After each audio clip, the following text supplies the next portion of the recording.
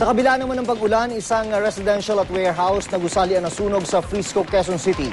At may ulat on the spot si Claire Delphine. Claire? June, sa gitna ng pag-ulan, nadulot nga ng bagyong Karen na sunog ang isang residential warehouse building sa barangay Mariblo sa Frisco, Quezon City. Ang second floor ng five-story building ang pinagmulan ng sunog. Dito ang warehouse kung saan nakaimbak ang hardware ng isang kumpanya. Ayon kay Quezon City Fire Marshal Bobby Baruela, nagsimula ang sunog ng 7.41 a.m. Dahil highly combustible ang marami mga supplies na nandito, nahirapan mga bumbero sa pag-apula sa apoy at kailangan pa itong gumamit ng foam.